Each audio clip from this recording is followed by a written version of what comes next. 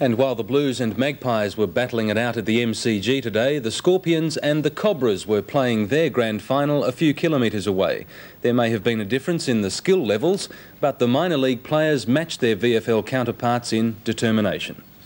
While the big men fly on bigger fields before crowds of thousands, the lesser-known Victorian Women's Football League plays to only a few hundred faithful, but the pace is just as furious and the matches taken just as seriously. There are only four VWFL teams, but the captain of the Frankston Cobras, Bub Murphy, says that will change as the sport gains more recognition.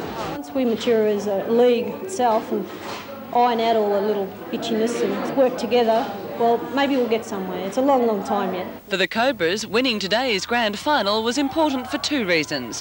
One, they'd lost to arch rivals, the Parkville Scorpions, in three of their past four confrontations. And two, it was to be veteran player Jan Wilson's last game. Jan has battled injury for many of her 80 matches, and today was no different.